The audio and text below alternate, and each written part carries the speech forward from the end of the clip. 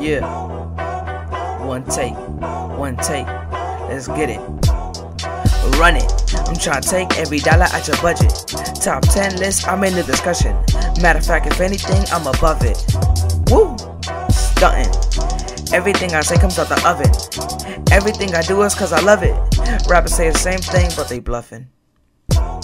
Can't trust them boys, they unemployed. They heard my voice and got paranoid. It's funny how four eyes was some you would laugh about, but four eyes is what you jamming now. If you ever saw me, you know you'd be fan that now. And I know that's something you cannot doubt. Cause when it comes to being relevant, I'm gonna last a while.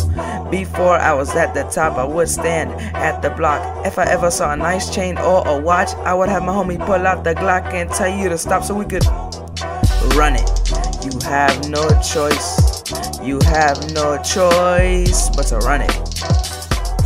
Uh, what I spit is dope, like I'm in the slope. If you talk about sales, then you ain't in this boat. I'm finna go off like I am in control, which I am, so they feeling critical.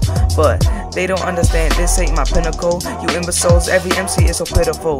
Cause they only talk about their own residuals. Honestly, it is so sad to see a bunch of whack rappers trying to laugh at me when they can't even go over half the beat because their mindset isn't where it has to be.